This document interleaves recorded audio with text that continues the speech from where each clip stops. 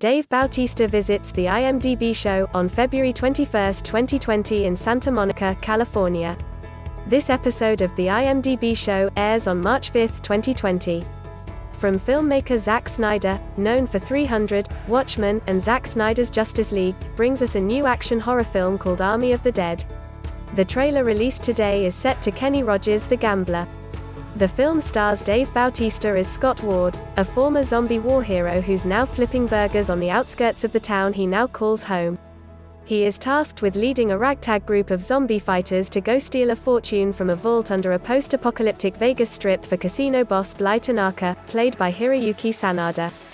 Sin City has now been overrun by the undead, and Ward's zombie fighting group only have 32 hours to break into the zombie-infested quarantine zone to retrieve $200 million sitting in a vault beneath the strip before the city is nuked by the government. On top of the ticking clock and a notoriously impenetrable vault, Ward's crew is up against a smarter, faster horde of alpha zombies closing in. There is even a zombie tiger and zombie Elvis impersonator, because why not?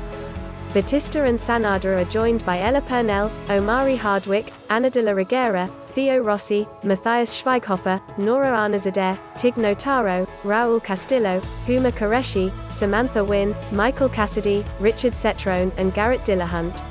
Army of the Dead marks Snyder's return to zombie material following his breakout feature, 2004's Dawn of the Dead. Army of the Dead will drop on Netflix on May 21st. Watch the trailer below.